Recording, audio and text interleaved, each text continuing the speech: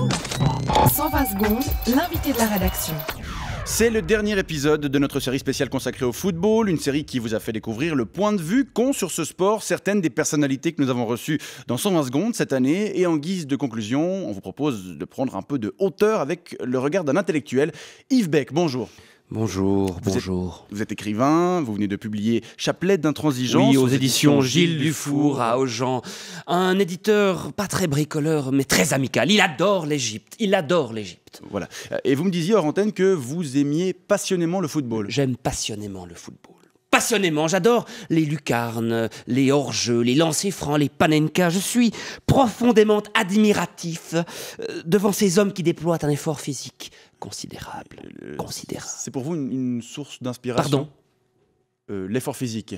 L'effort physique, c'est le fait de mettre l'énergie contenue dans son corps, dans son esprit, au service d'un projet spatial, comme une guerre, un coït ou le dressage de fauves. Vous voyez, j'ai un ami euh, qui travaille au zoo des marécottes, Zvonimir Pintaric, Mm. se nomme-t-il. Il me racontait hier au bistrot à quel point M- Monsieur il Beck, était important Monsieur Beck, de...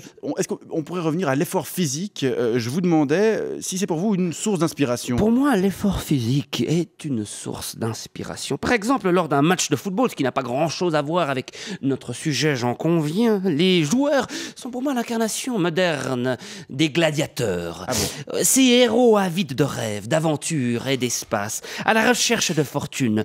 Qui n'a jamais Monsieur rêvé Beck. Euh, de ces mondes souterrains, de ces mers lointaines peuplées de légendes, Monsieur ou d'une richesse soudaine qui se conquérirait Monsieur au détour d'un chemin de la cordillère des Andes? Monsieur Beck, Pardon. Est-ce que vous êtes déjà allé à, à Draguignan? J'ai pas eu cette chance, non Eh bien, vous devriez. Ah bon? Il y a là-bas un petit chapelier, mais tout à fait savoureux, Mhm. qui s'appelle. Qui, qui s'appelle. Je ne me souviens plus. Oh, mais c'est c'est pas grave. Mais si, Merci. vous savez quoi Je vais appeler mon camarade Zvonimir Pintaric. Non, mais c'est pas nécessaire. Non, mais ça ne me dérange pas. Il travaille justement en ce moment au zoo des marécottes. Pas Et il a une nécessaire. culture des noms tout à fait remarquable. Yves Beck, je vous remercie. Doberdan, sono Yves Beck. Je crois qu'on Euh, Zvonimir Pintaric. on n'en saura euh, pas plus. Je rappelle que vous êtes euh, écrivain et Mhm. vous nous parliez de votre rapport Eh, particulier avec Beck. le football. Euh, il chopper de chapeau à Draguignan. Et nous, on se retrouve le 27 août.